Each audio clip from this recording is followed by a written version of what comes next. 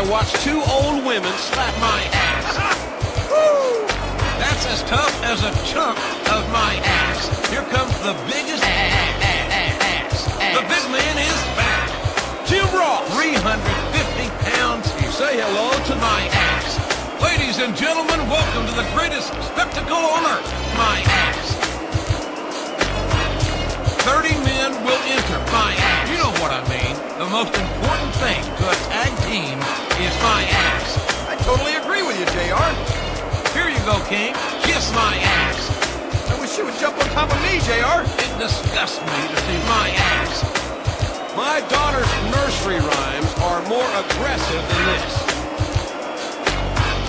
I can't help but look at the butt, JR. What? This is making me sick. Is it over? No, not yet. Referee Earl Hebner is always in my ass. That's a little weird. Transmission! He's got a first-class ticket to my ass. Executioner! Here comes Maven.